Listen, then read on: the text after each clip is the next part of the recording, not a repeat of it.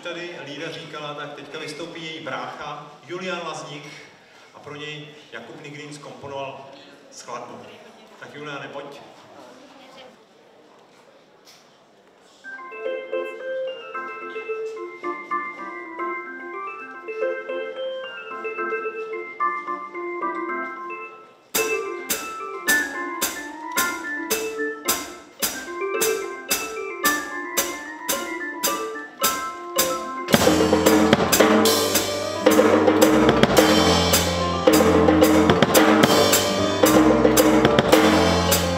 Thank you.